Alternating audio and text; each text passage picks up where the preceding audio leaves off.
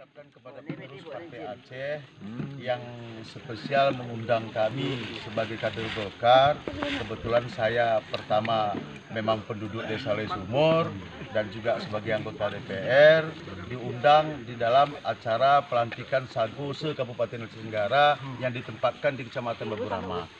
Mudah-mudahan dari momen ini Golkar dan Partai Aceh bisa bekerja sama untuk membangun Aceh Tenggara ke depan yang lebih maju, lebih bermartabat, lebih meningkat dari segala bidang di bidang ekonomi, sosial dan kemasyarakatan untuk masyarakat Kabupaten Aceh Tenggara. Nah, saya rasa sekali lagi eh, terima kasih kami yang telah memberikan waktu dan luang untuk kami eh, berkunjung di dalam pelantikan ini. Saya rasa itu saja, Pak.